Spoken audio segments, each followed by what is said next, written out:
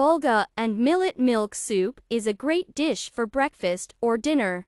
These cereals are cooked almost the same time, and the soup turns out to be very satisfying and tender.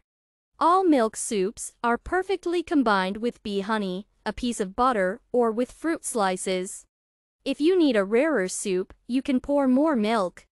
The recipe from the category Russian cuisine and consists of five cooking steps. The complexity of the dish.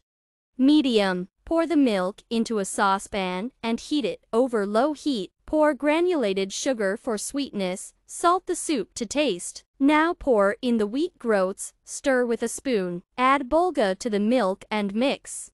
Cook the soup for about 20 minutes, then leave it under the lid for 15 minutes. Fragrant tender soup of millet and bulgur is served hot to the table with butter. Enjoy your meal.